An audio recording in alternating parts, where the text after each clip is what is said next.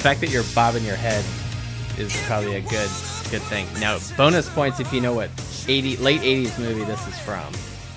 Oh, no shot It's there. an it's an action movie. I got nothing. All right, we'll, we'll, we'll see if any of our people, Jay or Nolan, you know, know what this is. You know, Jay Jay is pretty savvy. He's he's uh, an experienced gentleman. I'll put it that way. He's been he's been to school before.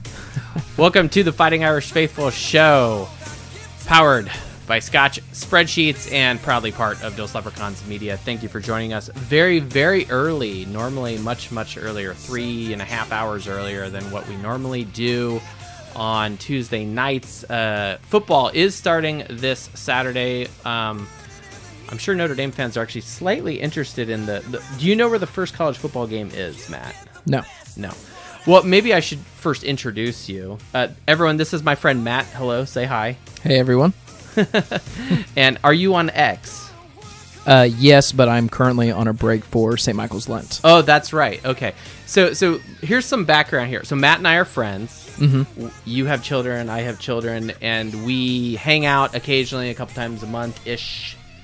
And we have a, a family group. We get together, we celebrate, eat, pray, whatever, right? But it's been a fun conversation. So, so the the synthesis of tonight's show was not that I'm looking for content. It was your children you had a child that was baptized and received first communion on the same day Yeah, uh, the the oldest received her first Holy Communion, and the youngest was baptized. excellent and so so we thank you for inviting us it was it was wonderful Thank you for coming. yeah the, the the food was great at your home and but then we went out on the back porch and the men were smoking cigars and drinking bourbon and of course sports and other masculine things came up right Yes, but you and I were having a very engaging conversation that other people were just like, "Huh? What?" And it involved Notre Dame, Catholicism, football, and I was like, "This would be really, I think, interesting for a show." I I don't know, M- maybe you're just, I don't know, but but you you had a lot of intelligent, good things to say, and what I thought was interesting is, so you're a practicing Catholic, yes, you like football, of course. you're from Indiana, Born and raised. you love the Midwest. Absolutely. and you really don't know much about Notre Dame at all, Practically zilch. which blew my mind. And I think uh, the the members of the show are are like going, "What? How is that possible?" You know, like Nolan, I think is is is I don't actually don't even know where Nolan is, and Jay Jay lives in Texas, but has been all over the country because of his his career, and um so I was like, oh well, we should get Matt on here, and so like part of me secretly wants to. Uh, it's not secret anymore because I'm about to tell you, but I, I want to like make you a Notre Dame fan, but I can't make you do anything, quite frankly, because you have free will and you're an American. So It's true. true on both accounts. However, I am definitely open to it. Um, I recently became a Cincinnati Reds fan. I didn't think I would be watching any new sports. okay, I mean, I can. It falls in the same. Everything falls together. how are the Reds doing right now? I actually have no Oh, idea. terrible! Are they doing It's- terrible? Oh yeah, Okay. it's a, it's We been a very disappointing season. I don't want us to turn into the, a, a Reds podcast, although Oh, we we have Trust me, you about, don't. You really don't want to. We really don't. Everyone just let me tell you another thing about the manager. Oh yeah, yeah. Our bullpen's trash. Yeah, I don't know. At any rate, though, I becoming a fan of the Reds later in life. I didn't grow up watching baseball. Um, is more like a. I started watching the Reds and learning more about baseball. My wife, she thinks baseball is great. She'd rather watch that than any other sport. Okay, But America's pastime. it made me realize that I can be open to possibly getting into college football, something that I don't currently watch. Interesting. Okay, now now you do watch the NFL Yes, religiously. religiously. Like, did you subscribe to what is it like? Red Zone or do, is that still a thing? I don't know. No, there are other uh, manners by which I You have other get- manners yes. in which we, we don't need to discuss those here. I mean, we clearly were we're using. Um, yeah, we don't need to get into copyright discussions tonight. But we but okay. So so and, who is your team? the Cincinnati Bengals. The Bengals. Excellent. So so you so wh- why Cincinnati? Because you just mentioned the Reds and you just mentioned the Bengals. yeah, so obviously I was born in Indiana. Um, everyone in my family is a Colts fan. Everyone around me is a Colts fan.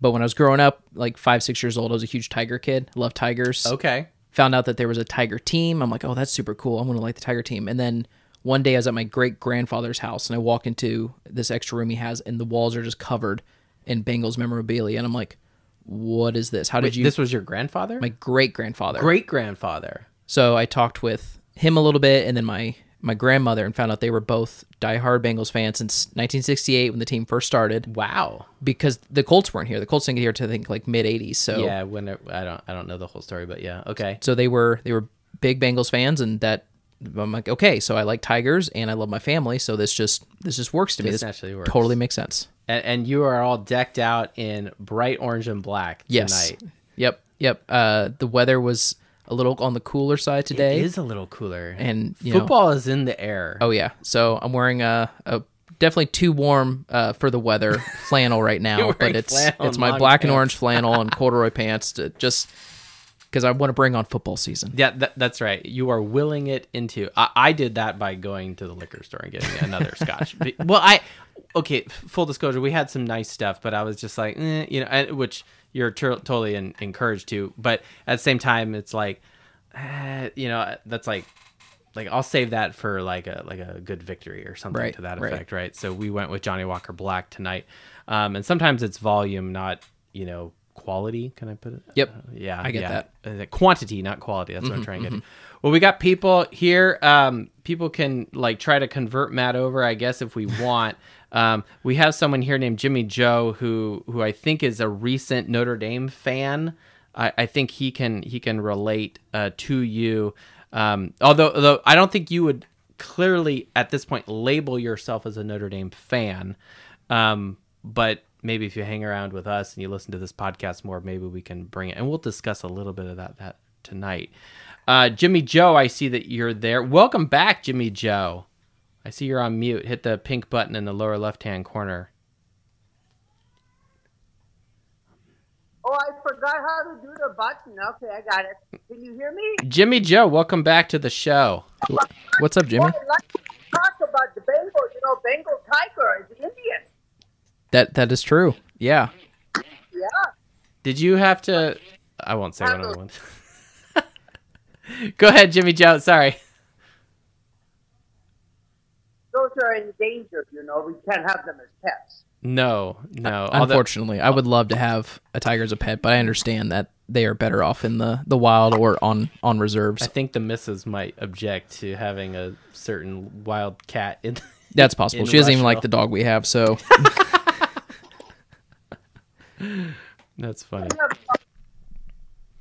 Jimmy Joe, it's been a long time since you've been on the show. We, we welcome you back with great great joy, but we are saddened you will not be joining us in October for the Stanford gathering.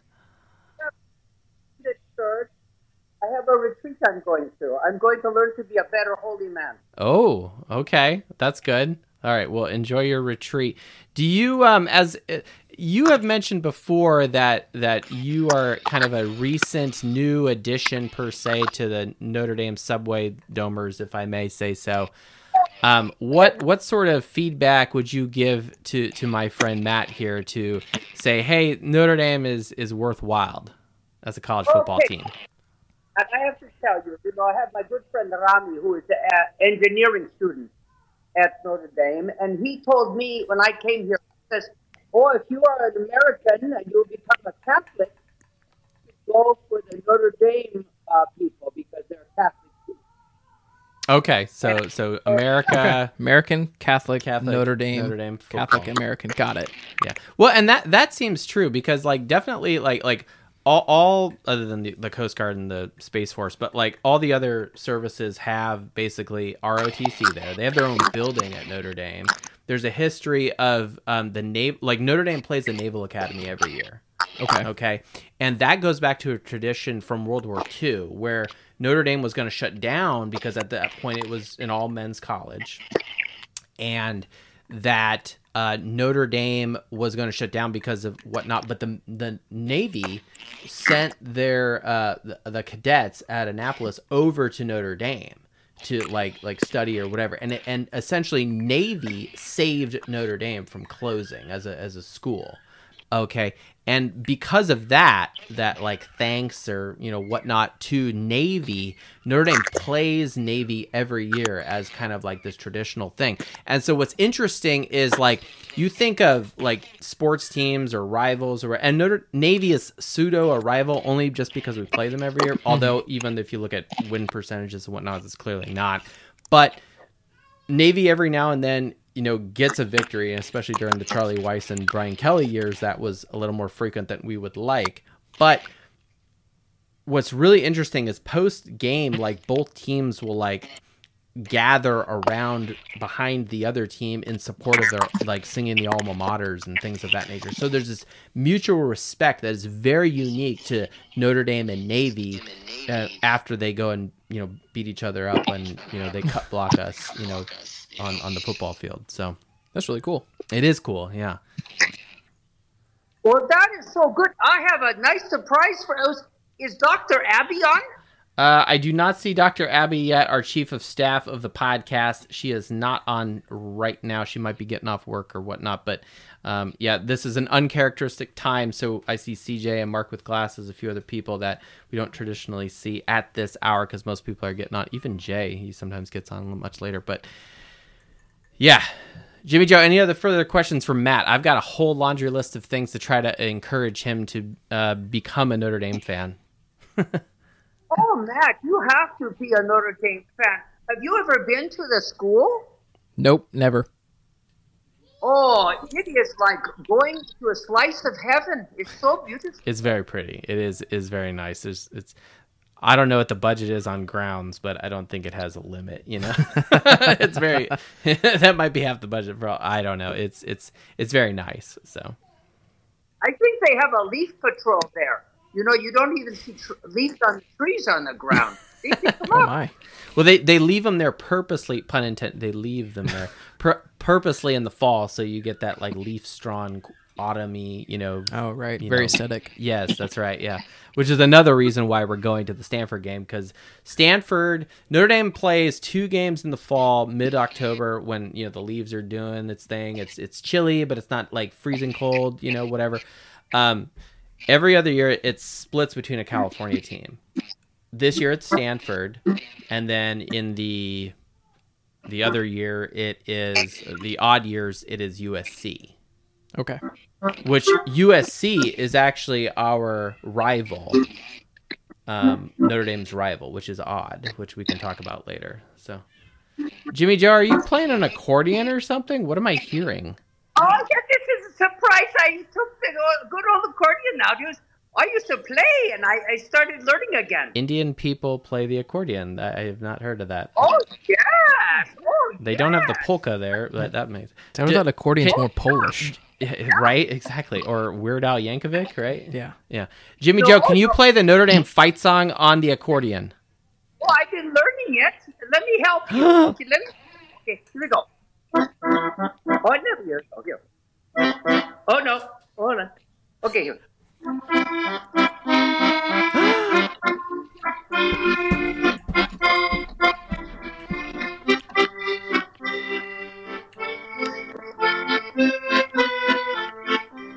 Is awesome.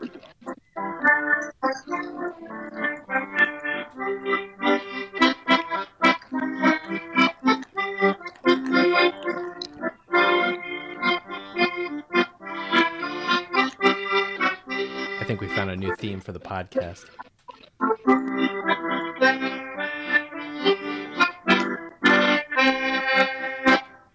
Wow! That was awesome! Yeah!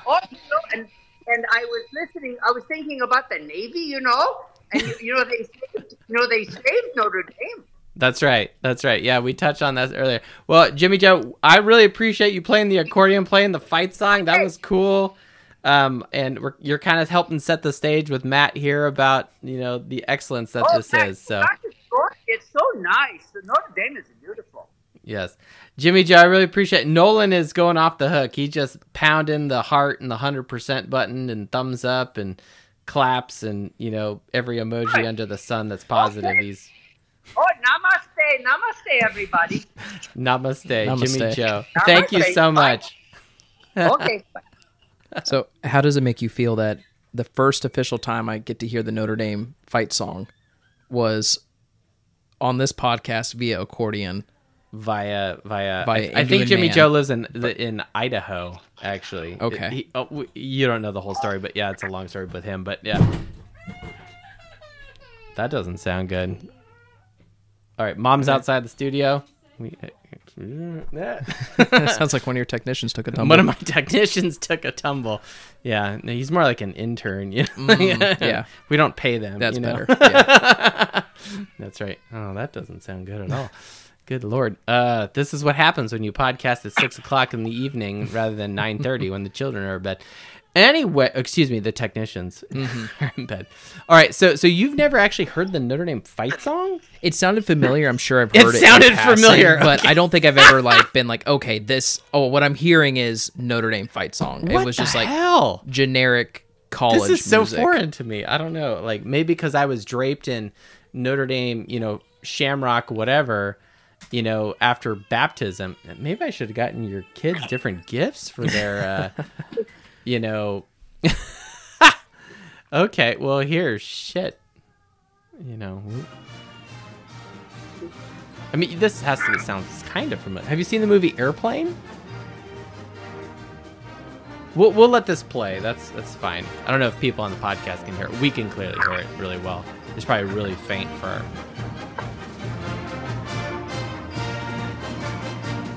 It's up there. It's on the wall here. You don't need to hear me sing. That's not why you're here, but we'll, we'll let this play in the background, but yeah.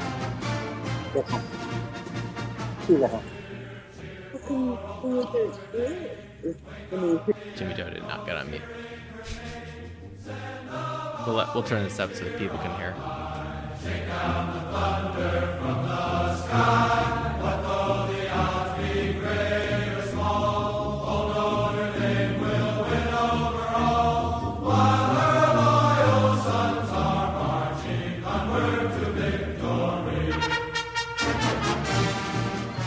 that that's the meat and potatoes of the fight song. But anyway, so what what's interesting? So so this is something I was doing during research because because I knew we'd have this conversation. Um, I knew that that you didn't have a full understanding of of Notre Dame from a um. I, I, I was thinking of like like Catholic stuff, positives, and then some like negative stuff, just to like kind of whatever that like you know perceptions that, that people may have in Notre Dame. But you know it is what it is. But what I was curious, w- one of the biggest things that was positive that I remember, and which is fairly recent, I found this out actually from the Indy Star. Someone told me about it at work, and I was like, "Huh?" And and like for me, like so Notre Dame's mascot is the Fighting Irish, Right. Okay. Now, do you know what Notre Dame actually stands for, or or what it, it is translated, and what it's translated from? No, I don't, and I feel as a Catholic Okay. more ashamed of not actually. No, no, no, it's fine. No, no, it's fine. No, this is great. No, it's I, I'm not trying to embarrass you. So here.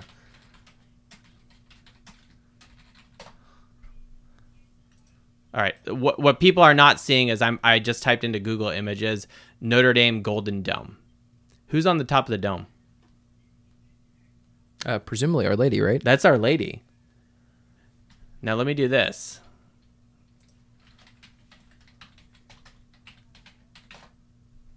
Oh, I should have done. Translate French to English. I'm typing in Notre Dame, Our Lady. There you go. That's what Notre Dame stands for. That's pretty cool. French for Our Lady. So when you hear Our Lady's University, it's Notre Dame. Now, I was doing a little more research into some of the other stuff today, and this stuff I kind of knew, but I needed a reminder. Um, Notre Dame was founded by a group of French priests who came over. I think it was one priest and multiple brothers, something like. I may have the numbers wrong, but um, a gentleman, a, a priest by the name of Father Edward Sorin, who got like a land grant and something to uh, originally establish a mission in 1842 in northern Indiana. Now, why he decided on northern Indiana is beyond me. Uh, but that being said, um, in 1842 is when Notre Dame was founded. Um, which actually, and I think the official name is Notre Dame du Lac, which means Our Lady of the Lake, because there's two lakes nearby: the Okay. St. Joseph's Lake and the St. Mary's Lake. All right. Um, but he also, in addition to founding the mission and, and spreading the gospel of within the local native population, he had a vision for a great American Catholic university in the tradition of great medieval universities of of Europe, right? What and and so and what's interesting is in like the 60s and the 70s when Notre Dame quote unquote really grew, and I think a little of that is tied with the success of the football team under Coach Ara Parseghian uh, and Dan Devine, and and you know eventually into the Holtz era. Um, Notre, Notre Dame grew from like endowment, buildings, you know, and academics, and selective being being a much more selective university. Um, it's and obviously people know of Notre Dame as a hard, rigorous university. Um, you know, and you know, it's the one place in school that made me cry, you know, because it was hard as hell. Um, to which I got some tough love from the doc here. The doc's my wife, by the way. Um, we protect her identity, but you know, but she is re- officially referred to as the doc on this show. But um, but what's interesting is how Notre Dame holds fast to that tradition of trying to be this excellent, great university that is is modeling, you know, this this image of of academic excellence and just excellence period right? And it helps when historically notre dame has had a really good football team. Um, now getting back to the present you know we're a little far from that. We don't have to go down too far down the negative rabbit hole. Maybe we'll do that later a little bit later. But what's what's really fr- what's really great is that that when you translate Notre Dame, it is it was founded by by Catholic missionaries, literally, um, under the guise of then okay, then we're going to establish this this university, and so Notre Dame does fall in line, maybe not like officially if you do with like US news rankings like okay Yale Harvard Princeton you know whatever Stanford you know but Notre Dame is is up there in that upper elite ish thing which may be part of their problem that they they're kind of snobby ish you know like like uh, like I, like and I talk to coworkers you know and I I work with a lot of Purdue people I imagine you work with some Purdue people um Rose-Hulman people here in the Midwest who know what that is um the Rose-Hulman people don't really have an issue. The Purdue people hate Notre Dame. I really Yes. don't know why. And I've even asked some Purdue people, like, why do you hate Notre Dame so much? And they say, I, I can't explain it to you. And it's like, that makes me think you actually don't have a reason. You've just been indoctrinated and you believe something, but you don't really understand why you believe it or why you, why you should believe it that way. You know, like, so, you know, it's, you know, I can make a bunch of snide comments right now, but I won't. Because let's try to stay on task with football. So, the irony too of the Purdue people you're talking about largely are engineers, data driven people. So you ask them what's the data behind their Yeah. their opinion, and it's like, oh well, Uh, it would take too long to explain. Okay, I got some time. Crickets. You Yep. know, where's my cricket soundtrack? Cool, cool. All right, so other cool things, which I'm, I'm trying to appeal to your Catholic side. something then- something I should point out real quick. You Oh. mentioned it was founded by French missionaries. yes. My last name is French, actually. Okay, I was able right to- on. I was able to trace it back to uh, my, you know, great great great great great great great grandfather came over in the. I want Did to I say get it right? Five grades? maybe I'd have to count it, but he came over in the uh, the 1630s or 40s. It was after, yeah, it was very early on. It wasn't quite on the Mayflower, and we checked my wife. She actually, uh, her family also beat us by like 10 years, but Okay. came in um, and made their way into Indiana and Kentucky over time. A couple of them went further south, but there is a French American connection there that I had not actually put together until you mentioned Notre Dame is French for Our Lady.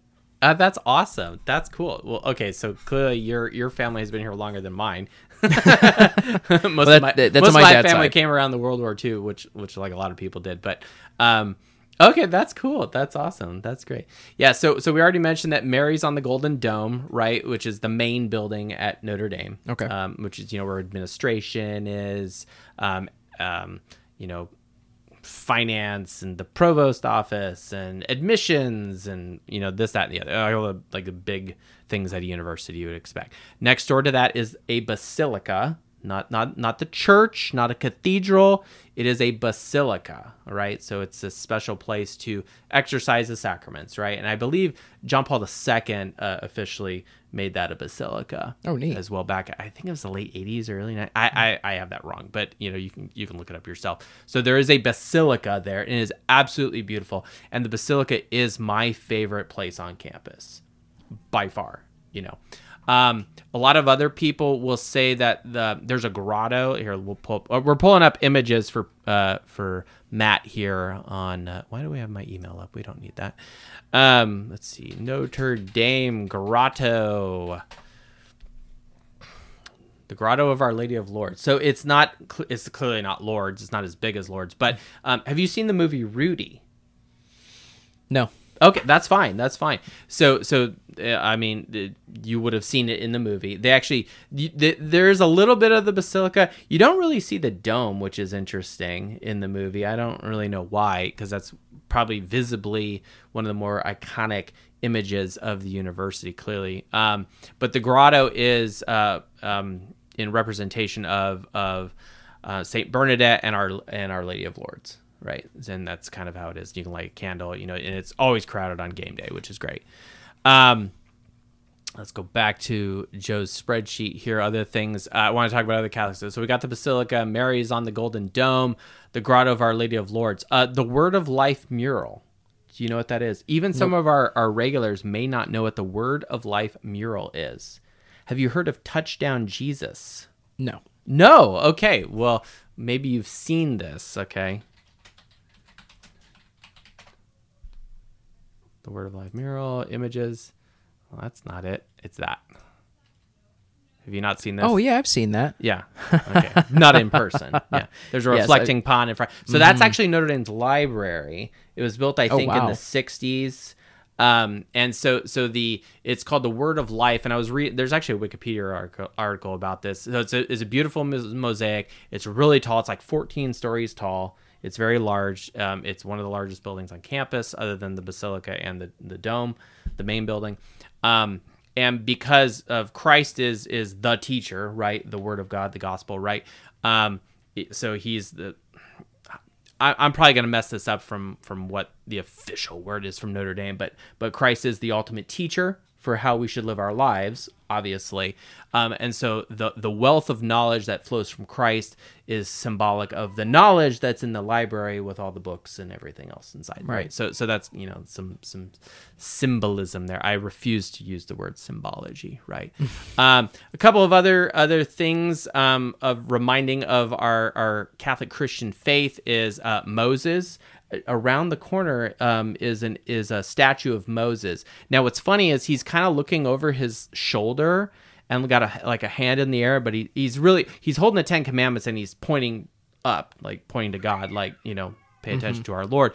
But he's also referred to as first down Moses because he's got a finger up in the air. like okay, that. uh, and then not at all related to football, but um, there's an area where there's uh, a, I think a couple of statues of, of Christ with the woman woman at the well. Okay. Okay. Um, so, so there's multiple. Why do I say that? Um, Notre Dame is clearly unashamedly a Catholic university. There's all these this imagery that we've just talked about.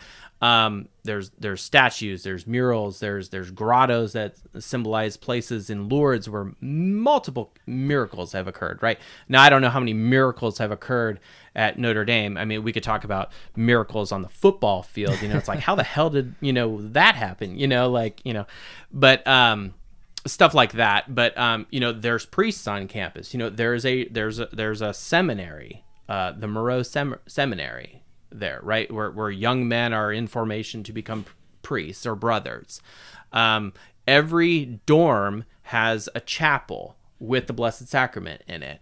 Uh, every classroom has a crucifix in it, right? To which, which was funny as a as a as a cradle Catholic who went to Notre Dame and went to grad school there. And grad school is interesting because you're you're kind of a ghost, and it's also a little bit more like a job.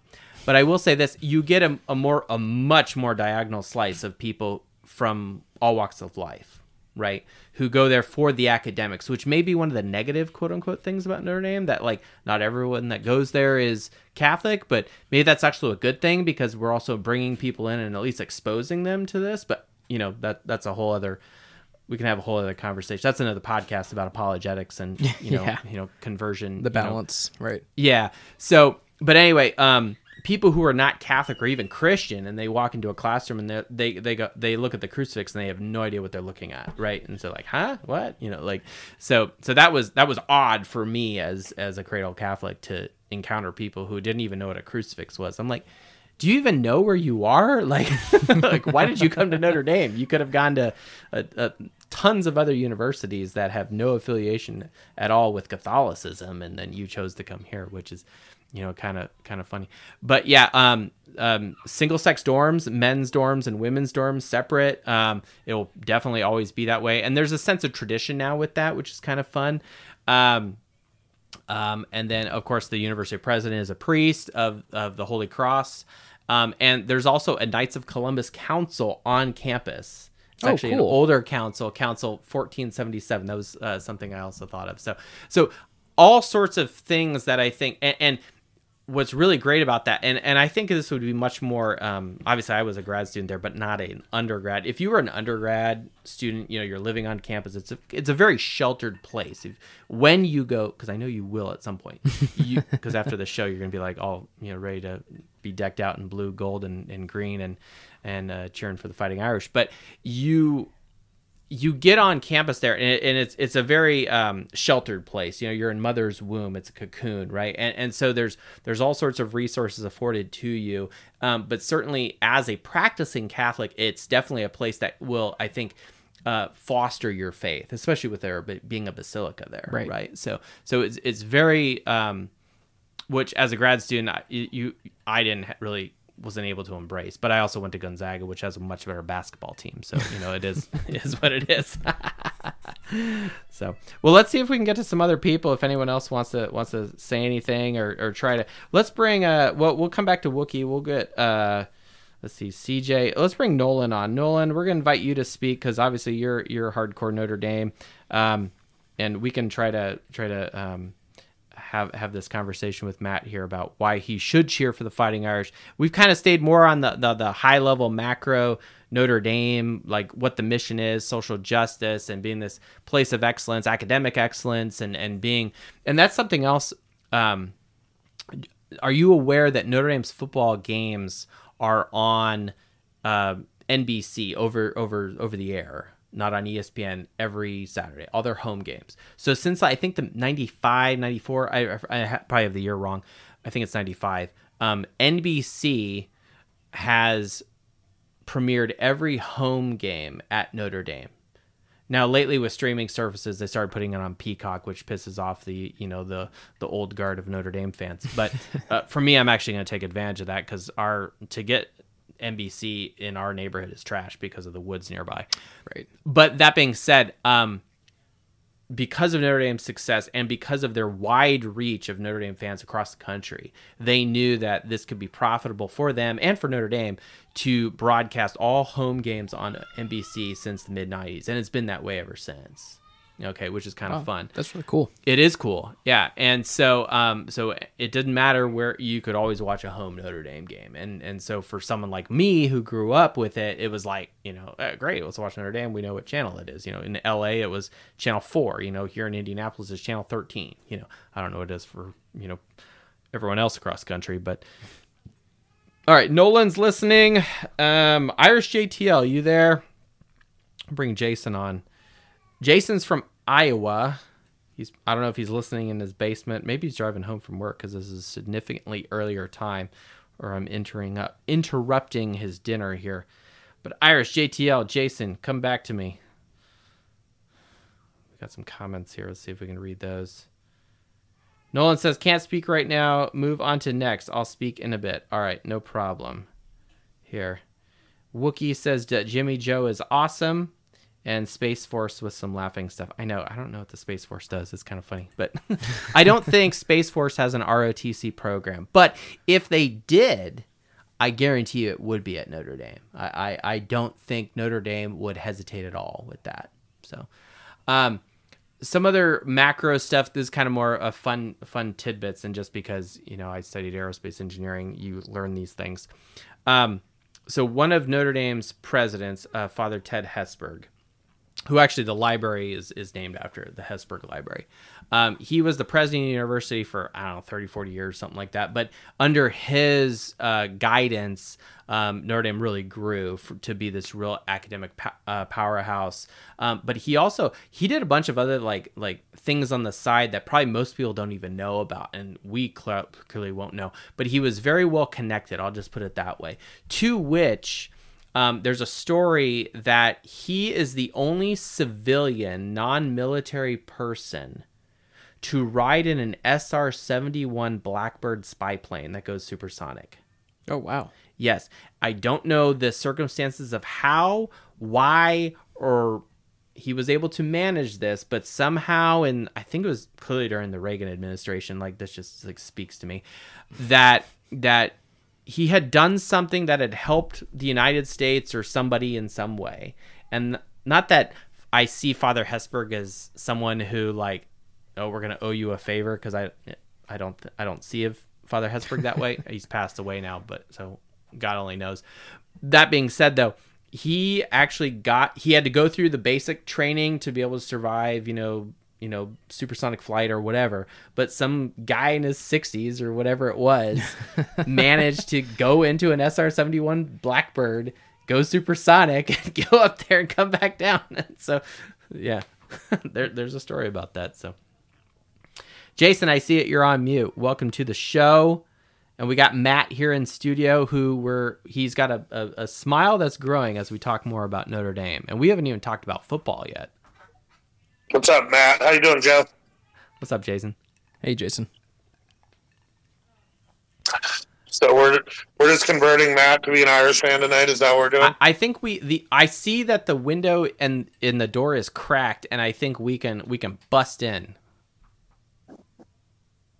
So so Yeah, I need all I need you to to lay on. L- let me put it this way, Jason. What? Jason, you live in Iowa. yep. You are a season ticket holder at Notre Dame, and so you drive from Iowa to Northern Indiana.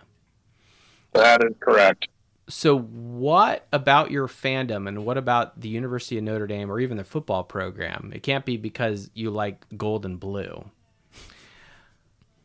Why No, do you, why do you do this?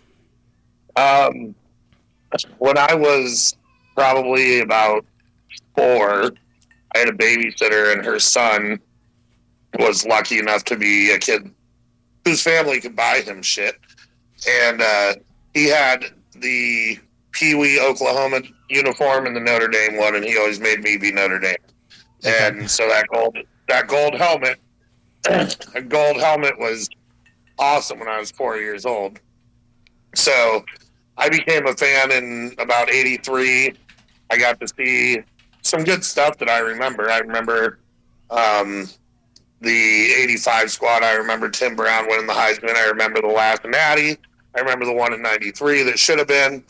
So I don't know. I've I've just always the first time I ever went to campus, I just realized how amazed I was and what it meant to me to go in that stadium and see the sun hitting the dome and standing from the lake looking over into the grotto. And what really, I mean, I love college football. And when I started wearing my Notre Dame gear, my family, who are all Hawkeye fans, hate Notre Dame. So as a five year old, I was being, you know, shit talked by my grandparents and my aunts and uncles. So that only that only made the the love stronger and the hate for the Hawkeyes stronger. but when I take new people there, when I take new people, I took a buddy to uh, the second home game last year. I don't remember who we played anymore. Uh, Um, this, is where, well, this is why I have a spreadsheet to help you out. But continue. Yeah, he we went down the north tunnel and he like got chills and started tearing up being there. And he doesn't give a shit about Notre Dame. I mean, Wow. he was there along for the ride to see the campus, and we of course went everywhere.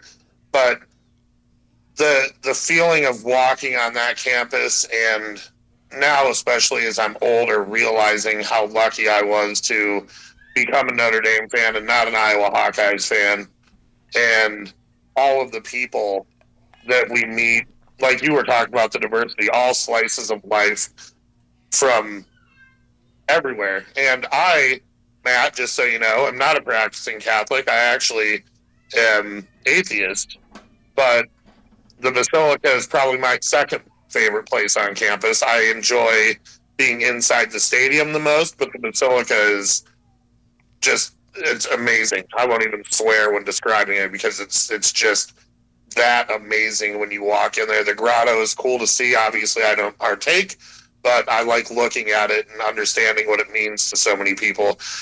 And the fact that all of us for the most part, there's some infighting, but the fact that all of us are accepted and have this common love of the Irish, and honestly, when when you get to a game, you'll see how different us fans are.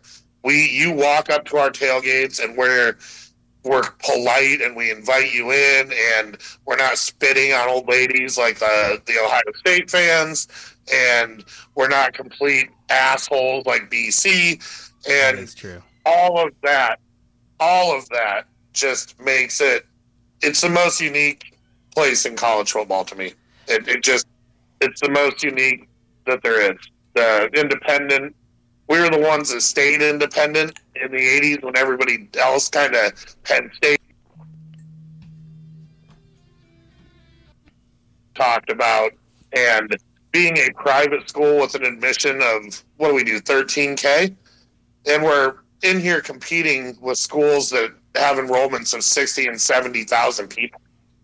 And we're doing it with the highest of academic standards Right. and integrity and you know grit and grind on the field. Jason, is it is it safe to say that Notre Dame kind of shoots for the moon in the sense that like we want we want to achieve excellence in the classroom. We want to achieve excellence in on on the playing field or and, and across all, you know, academics or athletics, excuse me. You know, um, you know, I mean, y- you got Olympians who are winning medals, you know, in Fr- in France here. Um, you know, and then you have, you know, the Notre Dame's men's lacrosse team the last two years has won national champions two years in a row, which is dope. Um, you know, and there's the the history, but but one thing, and this is something I did want to mention, and, and Jason's kind of teed me up here was the fact that it is a welcoming place, which is interesting. Um, I I haven't been to too many other visiting. I, I let, me, let me rephrase that. I haven't been too much of a visitor at other schools. But what is interesting is how, and, maybe this is sometimes a, a negative at Notre Dame, but it is a friendly place for visitors, people who are wearing their colors proudly for said school that they're supporting. They are not treated like garbage when they come to Notre Dame. They're treated with dignity and respect. And I think that's a good thing overall. Now, on the football field, I want to pound the other team, obviously. and I, I think Jason and most other people would agree with that. But I think that's what makes Notre Dame very unique. And it's not because we're weak. It's like, no, like, like, when I go to games, I see parents bringing their little kids. I see, you know, like Dom, you know, him and Meg, they'll bring the boys, you know, when they're little. You know, Leo's went to multiple games, you know, as a, as a little guy. Um, I personally don't want to do that with my kids, but but um, at the same time, it they try to make it family friendly ish, um, which is interesting. Now, I think that's a parental decision of whether you want to do that. Um, but I, I find that Notre Dame is unique in the sense that like like pick any of these other colleges, you know, like like like LSU is really you know, like well known. Those fans are assholes. They are nuts. Um, Boston College fans, Chestnut Hill, hostile as hell to Notre Dame fans. We'd already talked about how Purdue fans are, you know, sick in the head and don't know what they're saying, but they hate Notre Dame, you know, and I'm going to go to the Purdue game this year at Ross-Ade this year. So, you know, we'll see what happens there. Um, not taking the kids. Hey, I'm going. I'm going too. You're I'm go- going uh, too. Let's make sure we. Yep. Let's make sure we meet right. up. Well- I think Nolan's coming up to hang out too. Okay, brilliant. We'll we'll we'll we'll. I, I don't remember what section I'm in, but yeah, we're. Uh, um, that that was that was the one bit of tickets I actually acquired through my alumni lottery. But, um, I, I think that's what's interesting about Notre Dame is that it it is a they they try to make it a welcoming place, you know, and and you know. Jason, can I say that when you're at Notre Dame, you feel home? I know that sounds cheesy and really cliche, but there's a sense of calmness. Now, maybe I get a little anxiety because I think of the pain from grad school, but most people don't feel that. I I do feel at home. I am there probably 15 weekends a year, which is a crazy lot. I mean, that's Yeah. a third of the weekends, you know. Um, the only place I've ever been as welcoming as Notre Dame. I'll give these guys all the credit in the world. I went to Clemson last year, and those everybody was nice. Everybody in the I have heard that stands, everybody Clemson. before the game, everybody after the game. Everybody was really polite and nice and inviting. good, good, good, good. Yeah. J- Jason, something I wanted to kind of point out that you you mentioned early on how you know growing up you had to wear the Notre Dame helmet and that like at the young age you didn't really know what you were choosing. It just was kind of thrust upon you in a way, and you just happened to pick it up off the ground and be like, "This looks cool. You know, I'll carry this with me." And then next thing you know, you have grown adults being like, "What the hell is wrong with you? Why are you doing?" And then that like entrenched your love for Notre Dame. As a Bengals fan, I can relate to that wholeheartedly. It, I had I don't know if you were on earlier when I mentioned my my grandmother, my great grandfather, big Bengals fans, but no one else in my life was a Bengals fan. And if you've watched professional football, if you've followed it, then you know that the '90s and the early 2000s and the 2010s were very difficult years to be a Bengals fan. It there was there was nothing I could say to uh, defend them really. And, and kind of the opposite if you had, you know, the rest of your family was Colts fans, right? Kind Yeah. of the, you had the yin yang going Oh yeah, right yeah. The there. Colts were doing great, so it was like there were plenty of times I wanted to give up and support them, but something about having to defend from a young age this sports team really just drew me in closer to them. It made me like love them more, and, and it was kind of inexplicable because outside of the the slight family connection, it's like you know the Colts are you know they're half an hour away, dude. Like just support them. So I found that really interesting that you know you're you're in a similar position where you just you just happen to kind of pick up Notre Dame via that way. I think those I think those are my favorite ways that people kind of fall into their their sports fandoms. Yeah. I have a friend who's an Eagles fan because his brother always made him play. He his brother wanted to be the Colts in Madden, Okay. so he had to pick another team. He just started picking the Eagles, and next thing you knew, he'd fall in love with them. That's awesome. Now, is it um in your experience, Matt, as a as a Bengals fan? I, obviously, they've had some fairly recent success recently with Joe Burrow and and going to the Super Bowl uh, in that wonderful run. Did have you found that you have come across more? Can you say bandwagon fans that are that are that are Bengals fans that like all of a sudden people are like, yeah, I'm a Bengals fan now, or or you you don't really see that happen? Oh no, you, I mean you see your bandwagon fans, and what I find interesting, especially on you'll see this on Twitter X, is these fans who they're they're kind of new, they post a lot, and you know they're riding the ride. They start to get a bit of a following, and then as soon as things start to go bad, which you know the second year was a little rough, but we still made it to the AFC Championship. And the third year, Burrow gets hurt Right. a couple times really. They I mean they just fell apart immediately and then you can spot the original fans who are like, okay, like we've been down this road before. This is nowhere near as bad as it was in the Kit, Jon Kitna days or you know Andy Dalton every other year or Carson Palmer like this is like we're we're in good shape. We can handle this. Um but yeah, there's definitely and you know, I honestly don't mind bandwagon fans that much because it brings in money to the team, Yeah. which means we get to pay the players, we get to upgrade the facilities. Like I'm all for that. Um, I just wish they'd chill out a little bit when things start to go a little south. Yeah, yeah.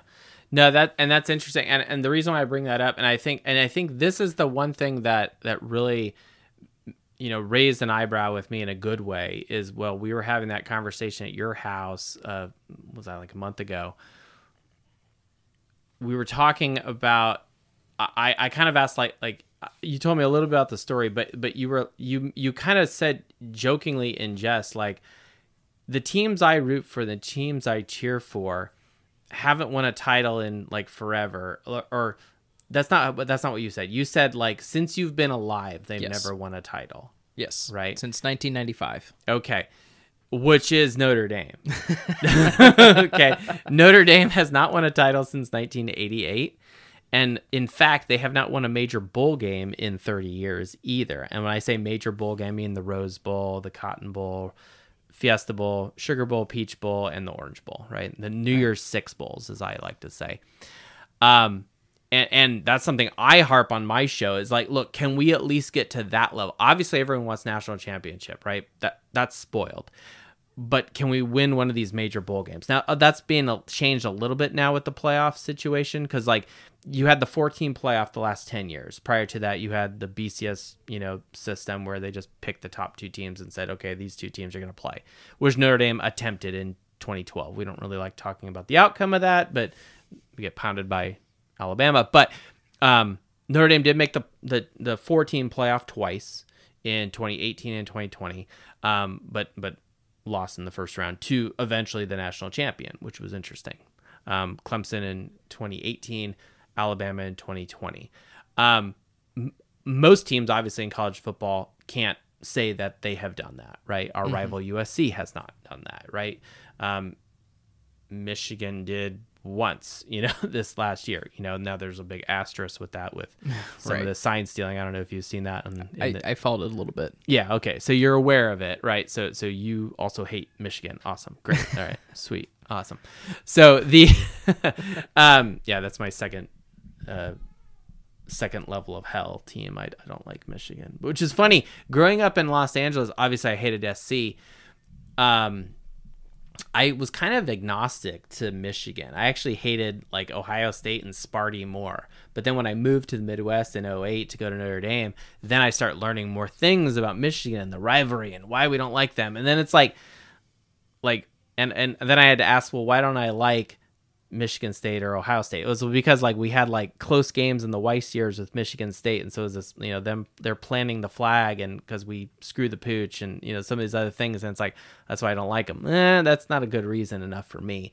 Versus Ohio State, why do I not like them? Well, they win all the time, and every time we play them, we lose. That doesn't seem like a good reason either. It could be, but like like I actually learned to respect those teams more, and maybe a little bit was well, they're the quote two rival teams for Michigan. So it's like the the enemy of my enemy is my friend. You know what I'm saying? Mm-hmm. So it's right, like, right. uh, maybe you know, like obviously we played Ohio State the last you know three times, four times, and we've lost every single time as Notre Dame fans, so we don't like that. Um, but it's like, well, it's not because we were really screwed out. It just it just didn't go our way. You know, this last game we didn't have 11 people on the field in the last play. You know, like it's it's hard to win. You know, like you're you're giving yourself. You know, in the you have one guy in the penalty box, right? Yeah. Jump over the boards, get out there. Um, but anyway, the um, why do I say all this? Just as as you see a little bit of bandwagon fans with um, with the Bengals I really don't think there's bandwagon fans with Notre Dame. In fact, I, I think Notre Dame fans are, are very entrenched to people like Jason and whatnot, you know, and there's little things that happen to them at a young age, whether you get inundated with your family, in my case, um, or or you know your grandma was Irish, or you know you you you grew up in the you know South Bend, you know St. Joseph County diocese, or whatever it is, you know. Um, th- there's I think a lot of avenues that bring people to Notre Dame that you don't get at like LSU or Alabama or something, um, or even Ohio State. You know, like like Ohio State people, it's like I'm from Ohio, or you know, and that's just the team we root for. You know, if you're in the South, the SEC, the conference, um, you obviously you don't really have professional football teams in the South, right? You know, unless you're the Titans fan or something. You know what I mean? But mm-hmm. like like people in Mississippi, like what pro team are you going to cheer for? Maybe the Saints? I don't know. No, they have Ole Miss and Mississippi State, right? And it's usually there's some family connection or you live nearby type of thing, you know. So the lines are clearly drawn, you know. Same with Texas. I mean, they got the Cowboys down there, but like Texas people definitely choose like University of Texas, Texas A&M. There's a few random, you know, Texas Tech people, but they're very entrenched and it's very geographically based. Notre Dame doesn't have any of that. Like the whole point with Notre Dame and how they got to national prominence is obviously it's this small college in northern Indiana, and Knute Rockne, you've probably heard of him before. Knute Rockne would put the team, uh, and they go across the country, and they would play Army. Army was the big bad team. They were like the Alabama of back in the day in the 20s, right? They would go play Army at West Point, and they'd get pounded, but then they'd start winning. Okay, and then that's where like the media thing, like, and and if you think back to like around that time, right? There's a lot of Catholic bias and prejudice. There's also a lot of prejudice against immigrants, and a lot of immigrants are from where? From Ireland, mm-hmm. from Italy, from Poland. It's that, these Catholic people. So you have P- Catholic people on the East Coast, the Midwest, you know, hotbeds like like Chicago or wherever else where you have large Catholic populations, and so you have this small Catholic university that's playing big bad army and beating them in Yankee Stadium and stuff like that. And you start having these like legendary things. And so then the sports writers and the newspaper people start right like kind of giving them the slur of the fighting Irish. And what's great in 1927, Notre Dame actually embraces that. Oh, so like Fighting Irish was not did not originate in No the school. No, actually, originally Notre. If you go back into the archives, Notre Dame's original mascot was the Terriers. Actually, no. This this is a good point to make because I'm I'm literally looking at your your pendant on the, the wall right now. Notre Dame Fighting Irish, French French name. Fighting Irish. Yes, because a lot of the original, uh, you know, members of, uh, uh, you know, from anyone from from priests at, at Notre Dame to their students, you know, for, for from Irish Catholic families.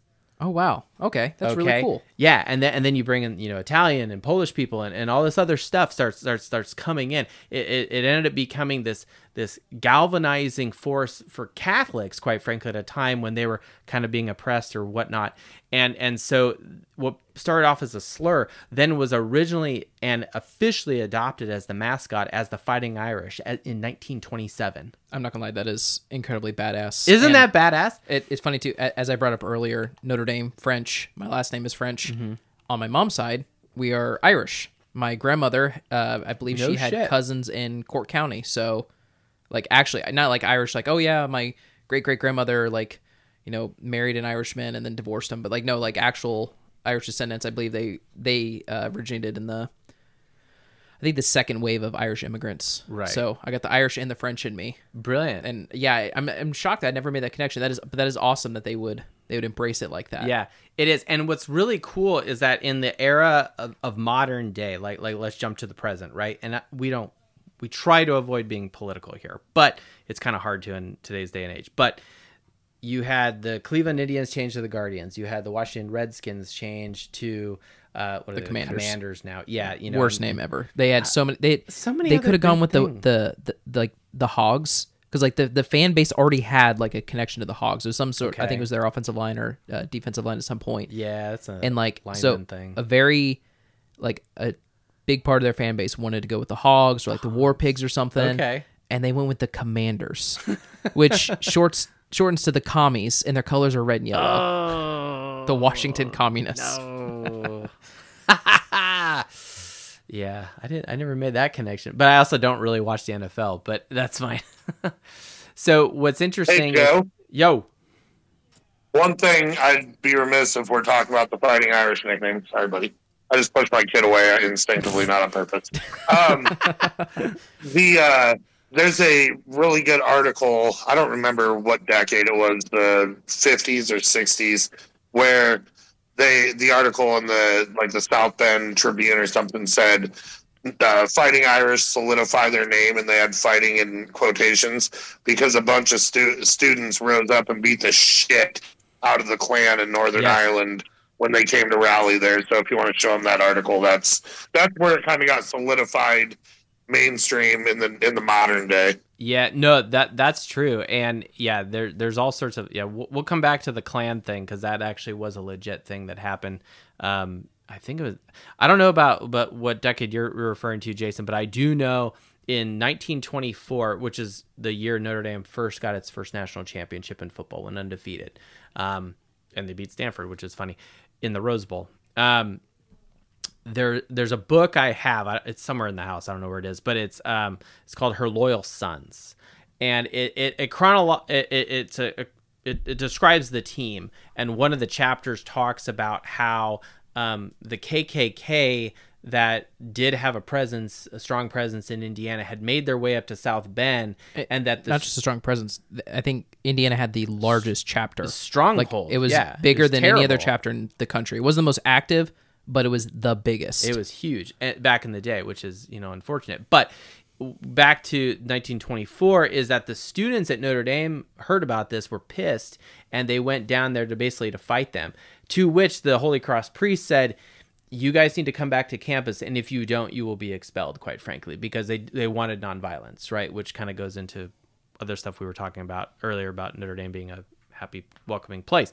Not that we welcome Klan members, but right. Yeah, you still don't want your students. I'm pretty sure that if people showed up in bed sheets at Notre Dame, there would be uh, there'd be some uh, there'd be some fights. I'll just put it that way, you know. But which is probably a good thing. But not that we like violence. But anyway, the um, what's what's back to the Guardians and the Commanders thing. In today's era of political correctness and other things, there was some article voting fake news whatever you want to describe it where it said the most offensive mascots and whoever these people were who knows what they are they clearly don't have spines but they said that notre dame's fighting irish was the fourth most offensive the fourth. I I know it's behind like Florida State and a few at like like San Diego State, basically native stuff, right? And and so they said the the Fighting Irish Leprechaun or the Fighting Irish was uh, offensive. Notre Dame, to which turns around, doubles down, and says per- politely "fuck you," and says no, this is true to our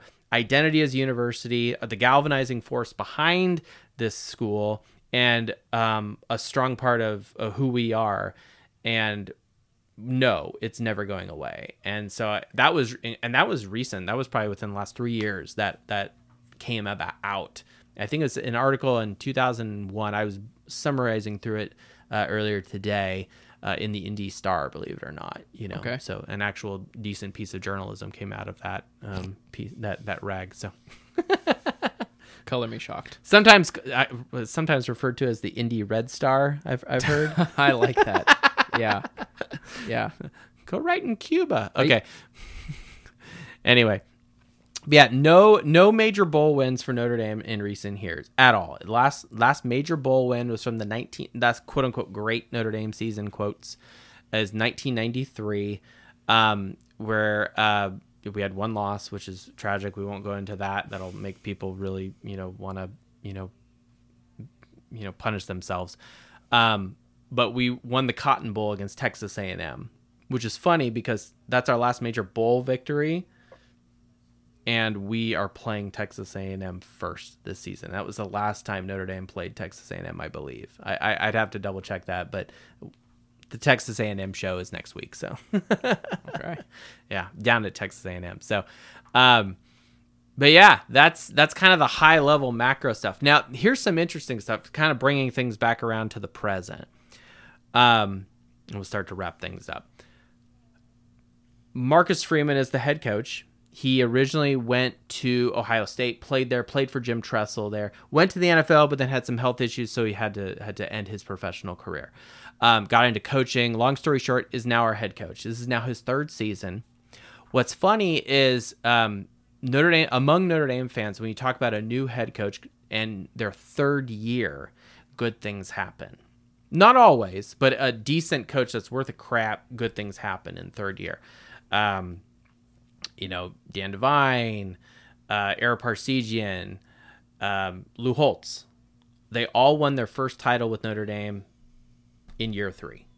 Brian Kelly, the last decent coach that Notre Dame had, did very well in year three and went undefeated up to the national championship game, 12 and 0, and then got pounded in the face by by Alabama, right? Um, but we did that on the heels of defense, right? To which Notre Dame's defense, you know who their defensive coordinator is? Hint, he was a linebackers coach uh, for the Bengals when they did their run for the Super Bowl. It's Al Golden. Okay. Al Golden. So he's the defensive coordinator. He was Oh, a wow. former Yeah. and By the way, if you're not a Bengals fan, our linebackers are amazing. Yeah. Like we got we have a good set of linebackers. So That bodes well for you guys. Yeah, yeah, and that that is one of the strengths of Notre Dame's defense right now is is the depth at linebacker and the defensive line, which is uh, just the defense in general is is very deep. A ton of returning starters. I did a show two weeks ago about about you know who was coming back, and there I, there was this huge analysis I did, and I was like, okay, we got all these guys that are now entering year three into the system under the same coach, really getting into the groove. And what's really interesting as I looked at the progression from year one, first year under Al Golden, you know, he was he was brought in as the defensive coordinator the first year that Marcus Freeman took over as head coach. Um, so you had a first year DC at Notre Dame, first year head coach at Notre Dame, first head coach period, quite frankly, and you know you can see there's some some rockiness as expected with a first year coach. Then you see, and then I said in last year entering year two, like, hey, the defense got to show improvement in year two. Otherwise, Golden, you know, hit the bricks, right?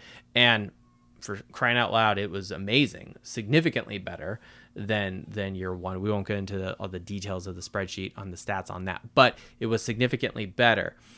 What's cool about it now is now you have all this depth coming back, and then you have a defensive minded coach in Marcus Freeman who did was a linebacker at Ohio State and went and played for national championships under Jim Tressel, but never actually won one as a player. So now he's a head coach entering year three, and year three was this magical year where either you won a title, you got really close, and I'm so I'm not like, you know, holding anything to fate or whatever, but but I would be remiss if Notre Dame fans in the third year were not interested and ex- eagerly excited about year three with Marcus Freeman, who at this point entering his third year has a better winning percentage than uh, than Brian Kelly did entering year three, and also a much better winning percentage than Lou Holtz did entering year three, who was the last coach who won the national title for Notre Dame. So that I thought was kind of interesting.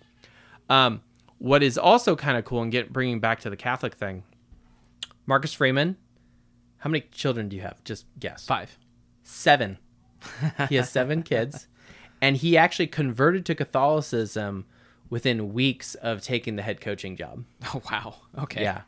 Which I don't know if that was part of his contract. I don't think so. I think that was something that that I think again feeling home coming home to Catholicism, right? You know, like, you know, people people all the Catholic people who are into apologetics, you know, know what I'm talking about. They're nodding right now in their cars as they listen to us. But, you know, coming home to the Catholic Church, you know, the original church that Christ founded. And so, and it, I can imagine for his home life, you know, if his wife is a practicing Catholic, he's raising his children Catholic, you know, they're going to mass or, you know, they're being baptized, this, all, this, that, and the other for him the dad the leader of the family you know to also be uh, a, that that spiritual role model for his family his wife his children um, you know that that makes things much easier and he even turned things around like notre dame would have mass and then they'd walk from from the, notre dame goes to mass before every every game oh wow yes and and back in the day they used to to go to mass and then they would walk across campus uh, in this kind of not a conga line. That's not the right way to say it, but but down. It, it was called the play. It's called the player walk. Okay. And so people like line up the the thing, uh, you know, on the sidewalk, right? And they they you know cheer the team on as they they walk from mass into the stadium to you know get ready to play. And so the fans are all there like, yeah, you know, go Irish, you know, and stuff like that.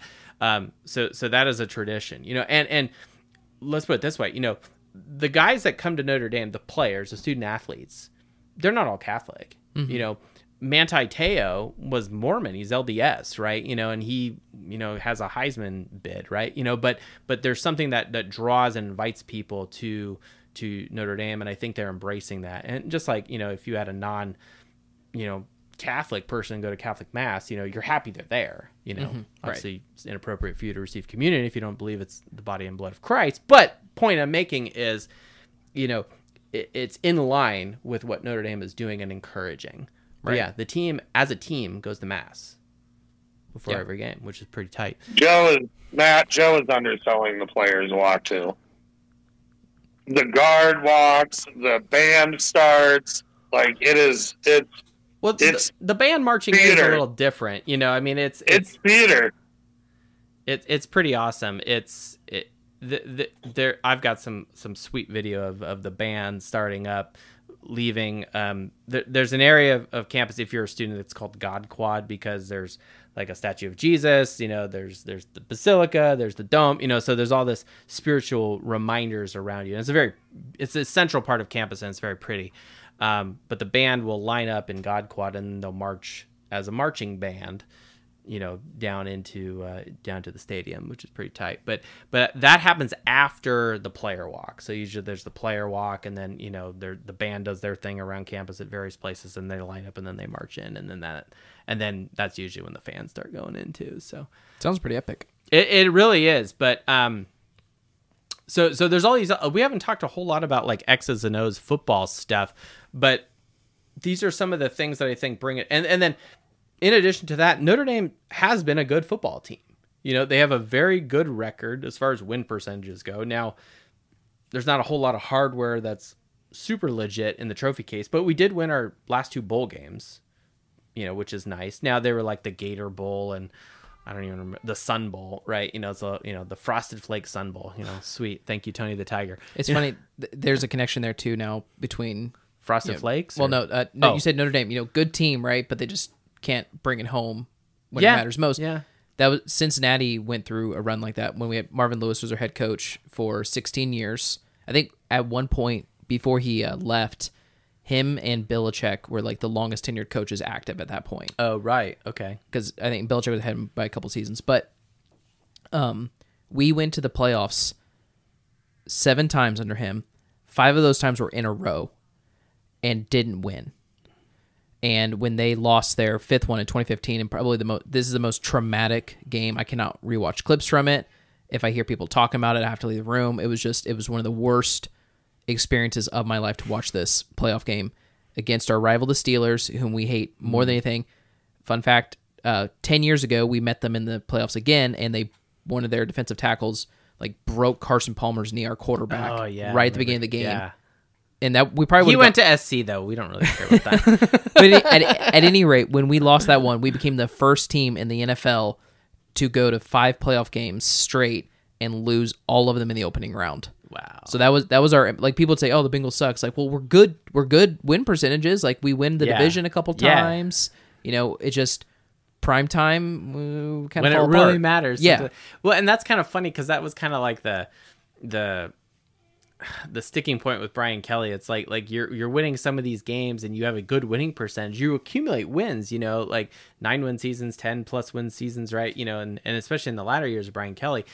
Um, but like the games that really matter, like you know, like like if I if I mention some of these games, some of these people are just gonna roll their eyeballs are gonna roll out of the room. You know, Florida State 2014, we go down there, we're ranked in the top five or something, and we we lose on a bullshit you know offensive pass interference call for a bullshit pick play, which is completely ridiculous. And you watch the replay, the Notre Dame receiver is wide open in the end, end zone, and whatever they called has no impact on what actually happened on the field. is ridiculous. Um, there's a few other close ones. Uh, Clemson of 2015, you know, didn't quite make it. Um, Georgia of 2017, we lose by one point. Okay, Georgia of 2019, similar thing. It's not quite the same uh, defeat margin, but really close. There's some big games, big time moments where it just doesn't quite get done. Now, what's unfortunate is when we have gone to the big games, like the playoffs games, um, you know, the New Year's Six type of games. The last one that we lost that was close was actually the first game Marcus Freeman ever had to coach. So in 2021, Brian Kelly is the head coach. Okay, I'm entering my second season doing this show. Okay, Just quick for my frame of reference. Yeah. I I know Brian Kelly because he was the coach of the Eagles briefly. no, no, no, no, that's Chip Kelly. Chip Kelly. thinking. Okay, that's what I'm thinking of. How long Who's was now Bri- the offensive coordinator at Ohio State? But Okay, I- that's I knew he. I knew know. Ike Kelly had come back into yeah, the college. so you can see how someone who drinks like too much whiskey would get these things confused. You know. How long was Brian Kelly a coach at Notre Dame? Uh, let's see. He started in 2010, which is really funny. 12 years. 12, 12 thank you, years? Jason. Yeah, I, I can't Is that just is that a straight long answer. time Yeah, that is a long time. That was more. He A had long coached. time at Notre Dame. He he coached more years than um than Lou Holtz, and then the media is stupid. They they say, oh, the winningest most coach. Yeah, because he was there for so long, but he, he doesn't have anything to show for it. I mean, he really doesn't. I mean, I, I don't want to say that. I don't want to be too unkind because because Notre Dame was clearly in a much better place after Kelly left than when it, he picked up the job taking leaving Cincinnati to come to Notre Dame. But what's funny is he goes as having a really good season. We're gonna go to the Fiesta Bowl. We're playing um, Oklahoma State, okay, and he bails and takes the job at LSU. And it's like, well, why? Like, why would you not finish out the year? Uh, This is where people are going to say, because bowl games don't matter. They do now because of the new playoff format.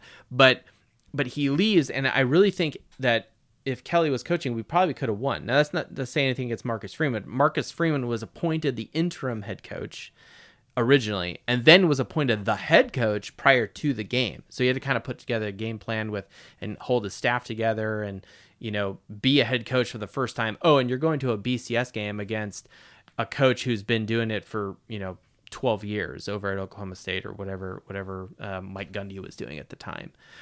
But point is, Marcus Freeman takes up takes the reins, takes the job, and then has to go to a, a New Year's Six game. That's his first time coaching at Notre Dame. It's also his first time being a head coach.